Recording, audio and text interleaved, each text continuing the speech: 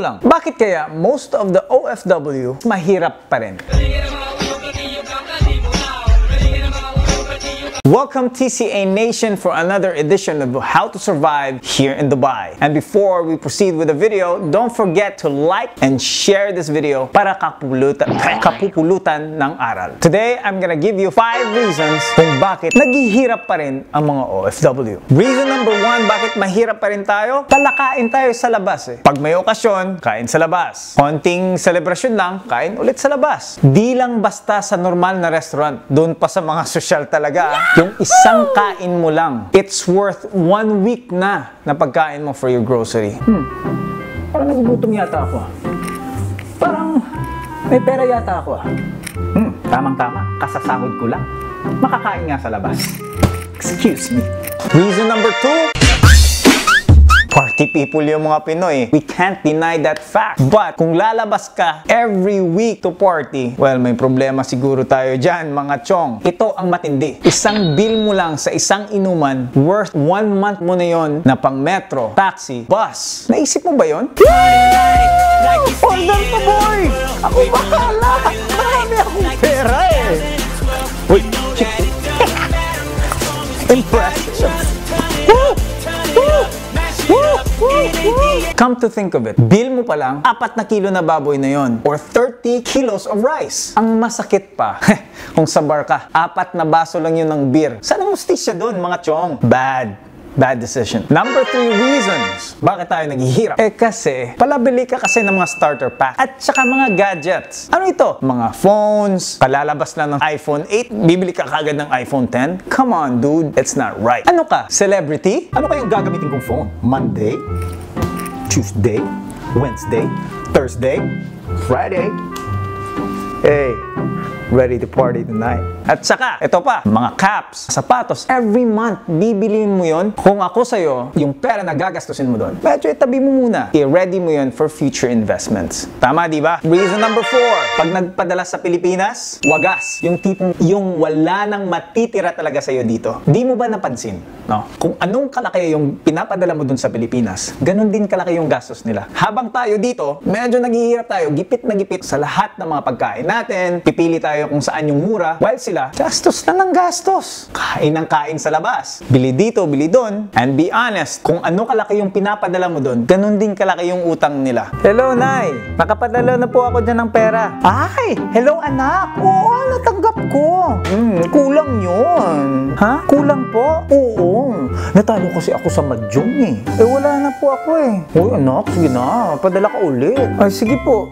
Hahanapan ko na lang po ng paraan. Oo. Baka pagalitan ako ni Mari ko eh. Tapos bibili pa ako ng ano ha, damit ha. Hanapan mo ha. Hanapan mo. Teka lang, ring. Oh, hello, babe. Oh, natanggap, natanggap mo na ba yung pinadala ko? Yung, yung pang shopping mo? Hello? Ha? Hello? Hello? Who you? I'm not saying this na hindi magpapadala sa Pilipinas. Ginagawa ko rin yun. Ginagawa nating lahat yun. But be mindful na isipin mo muna yung sarili mo dito bago ka magpadala ng buong buo sa Pilipinas. There's a saying nga, save yourself first before you can save others. Nakita ko kaya yun sa aeroplano. So tama yun. And number five na reason bakit tayo naghihirap, the big double C, credit card. Let's face it, pag may credit card ka, you feel invincible, di ba? Pag pumunta ka ng mall, kahit kung minsan wala ka ng pera, pag may nakita kang bagong mga gamit, since may dala kang plastic card, it's easy for you to splurge without really thinking kung paano mo mababayaran yun. Di ba?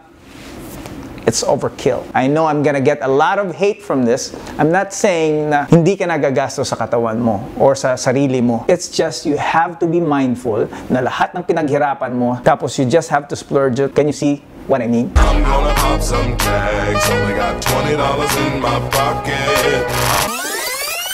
Guys, may dalawa tayong bonus tip ha. Dati-dati isa lang, ngayon dalawa. Advice ko lang sa mga lahat ng mga OFW, mga kakosa ko, mga katropa ko na OFW. Kung lumaki yung sahod mo, it doesn't mean lalaki din yung mga gastusin mo. I mean, if nabuhay ka nga sa maliit na sweldo, you have to learn na stick muna kung ano lang yung kaya mo. And then, if nakita mo na parang umaapaw na talaga yung mga ang pera mo, that's the time that you should elevate. Kadalasan, yung iba, tumaas na ng konti yung sweldo, let's say, bed space ka. Nagpartition ka agad. Yung ending nun, nagde-deficit pa yung sweldo mo kasi lumipat ka agad. Yung sikreto dyan mga chong is, of course, medyo patience ng konti. Pag marami ka nang naipon, another source of income ka na, dun ka na mag-elevate. Huwag masyadong magmadali.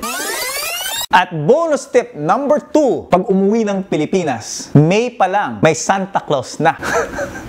yung papadalhan mo lang or dadalhin mo mga pasalubong is para lang sa mga taong espesyal sa'yo. Let's say for example, your close family, maybe some close friends. Hindi yung, yung kaibigan ng kaibigan ng kaibigan ng kaibigan mo. Bibigyan mo lang dahil gusto mo lang, let's say, magpasikat or gusto niya lang magka-chocolate. Eh wala naman may naitulong sa'yo yun, di ba? Imagine this, one year mong pinaghirapan, mawawala lang sa isang buwan. I hope you guys are being very, very smart when handling your money.